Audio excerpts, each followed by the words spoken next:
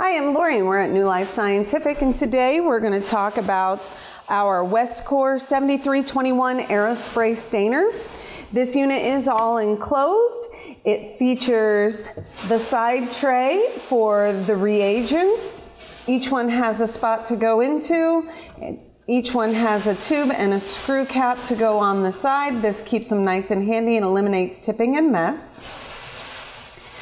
On the back there is a volume control, an outlet or port or hole for your exhaust, and also one for the drainage.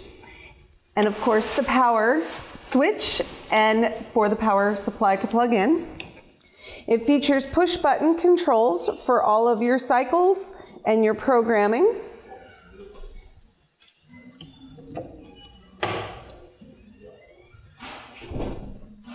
As you can tell, it is a previously used unit, but it came to us in great condition.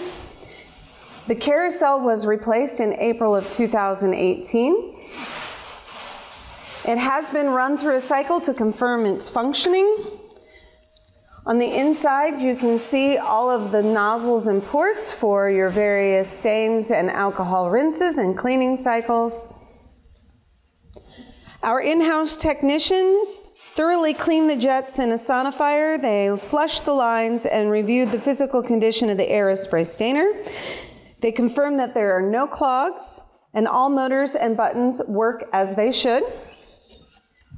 We do have an electronic manual to go with this unit, which details the initialization, the operation, cleaning and maintenance, and troubleshooting, and any other operations that may be necessary for this machine.